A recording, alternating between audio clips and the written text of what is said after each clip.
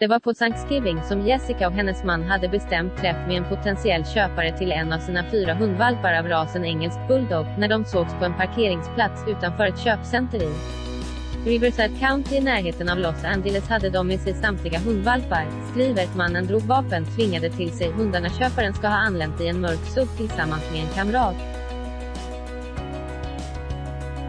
När han skulle välja en av valparna förändrades situationen och blev plötsligt hotfull. Han sa, vet du vad, jag kan inte bestämma mig, jag tar alla. I nästa sekund hade han dragit ett vapen mot min man, berättar Jessica. Mannen tvingade till sig alla fyra hundarna, som var för sig kan kosta närmare 10 000 kronor. Han tog också parets mobiltelefoner och plånböcker, innan han lämnade platsen tillsammans med sin kamrat. Med hjälp av vittnesmål och bilder från övervakningskameror kunde polisen identifiera och gripa en av de misstänkta männen.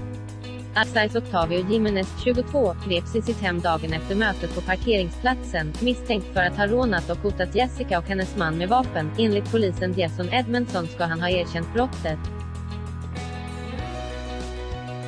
I väntan på rättegång sitter Jimenez frihetsberövad. Han ska ha varit känd hos polisen sedan tidigare med anledning av innehav av ett otillåtet skjutvapen. Polisen har ännu inte kunnat identifiera den andra mannen som var inblandad i rånet. Hundvalparna är oskadda och har fått komma hem till Jessica igen.